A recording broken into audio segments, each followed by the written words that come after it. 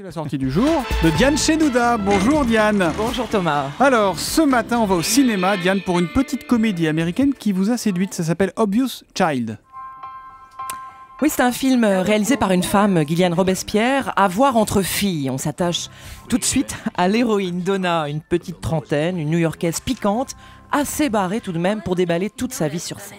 I was recently dumped up with my very nice close friend who's such a nice person decided to sleep with my boyfriend. Voilà, je viens juste de me faire larguer, dit-elle. Ma meilleure amie, une fille géniale, a juste décidé de se faire mon petit copain.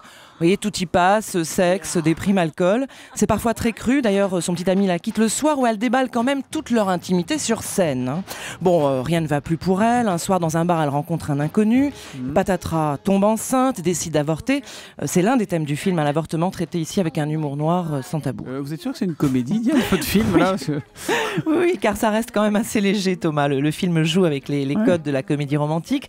Les dialogues sont souvent décapants, même si parfois ça tombe quand même à plat. On n'est pas quand même dans la virtuosité hein, d'un Woody Allen, hein, il faut le dire. Mais, mais c'est un film touchant qui m'a touché. Surtout, il vaut le détour pour l'actrice principale, Jenny Slate. Là, euh, c'est une révélation. Elle est vraiment excellente. Donna is, is a bit like me. but I Donna do est un peu comme moi, elle fait du stand-up elle aussi.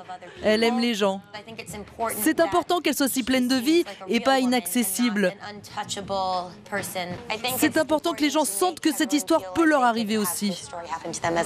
Voilà, c'est la comédienne, euh, la jeune Jenny Slate, euh, vraiment qui nous régale dans ce film. Elle est, elle est jubilatoire. Eh ben, il faudra la suivre, donc Jenny Slate. Ça s'appelle Obvious Child, une comédie américaine décapante, donc en ce moment au cinéma. Merci Diane Chenouda.